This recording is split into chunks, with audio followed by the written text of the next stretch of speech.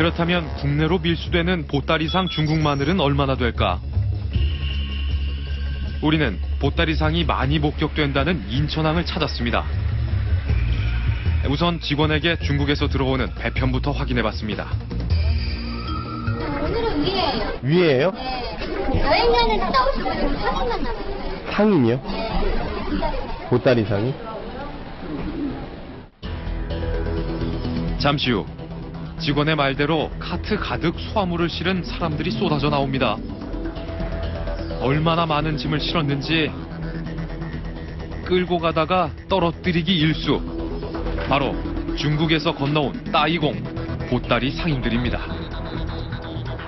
우리는 급히 보따리 상의 뒤를 따라 여객터미널 밖으로 가봤습니다. 그리고 이어진 충격적인 장면. 바로 앞 공터에서 몇 명인지 셀 수도 없는 수많은 보따리상들이 들고 온 짐들을 정리하고 있습니다. 이곳이 항구인지 벼룩시장인지 당최 구분이 안 갑니다. 과연 이곳에 중국산 마늘은 얼마나 있을까? 우리는 의심스런 상자를 운반 중인 한 남자와 대화를 시도했습니다. 사장님, 마늘만 따로 파세요? 안 팔아요? 어... 저 어머니, 혹시 마늘만 따로 파세요?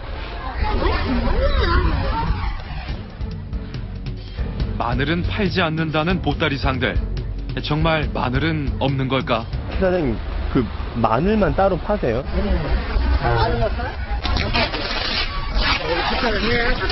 아, 그래요?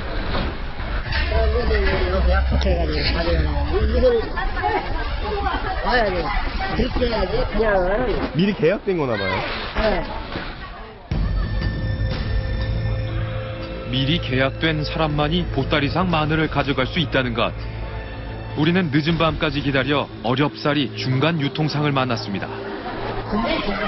전쟁이에요? 아, 저녁에 나와야 되네 이거지 네, 이게 뭐예요? 일체 유지 뭐 아, 그런 게 아니야 음, 나야 아, 사장님이 중간 유통상을 따라간 곳은 수화물 탑승장. 낮과 마찬가지로 수많은 보따리 상들이 중국에서 들고 온 짐들을 정리 중입니다. 중국에서 오시는 분이 몇 명이나 돼요? 왜 이렇게 많아요? 아 300원 70원 370명 왔어요. 보따리상들이 가지고 온 포대와 상자들을 살펴보니 우리가 즐겨 먹는 농산물이 가득합니다. 녹두, 콩. 어, 깡콩도 있네.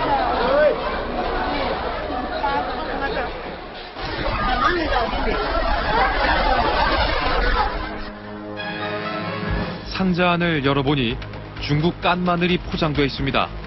어디에서 어떻게 왔는지도 모르는 마늘.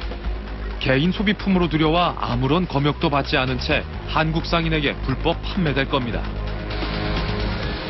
이게 지금 어디 어디 시장이 들어가요? 지금? 일반적으로 우리 시장 같은 데는 안 들어가요? 아, 들어가요? 아. 300명이 이런 거 하나씩 다 갖고 오면은 그럼 일주일에 이게 한개 들어오네요. 이게 또 항구가 하나가 아니잖아요. 항구마다 들어오면 물량이 엄청나겠네. 항구마다 보따리 상이 이렇게 들끓을 수밖에 없는 이유.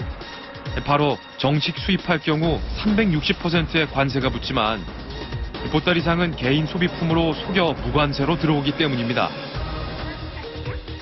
보따리 상으로 갖고 들어온 관세 부분을 자기들이 나가먹을 수가 있잖아요 그러니까 360%를 예를 들어 진짜 중국산 마늘이 천원짜리라 치면 정상적으로 갖고 들어오면 컴플레인 들어오면 그게 4,600원이 본전이에요. 그럼 4,600원짜리 갖고 들어갖고 5,000원 팔면 400원이 남고 보따리 상에 놓고 뭐 1,000원이야. 관세를 안 보니까. 1,000원짜리 갖고 와서 5,000원에 팔면 4,000원이 남잖아. 그럼 누구 세살먹은 어른 애들이라도 수입하면서 관세 안 내라고 되겠죠. 그러니까 그 물건이 계속 들어오는 거예요. 그 물건.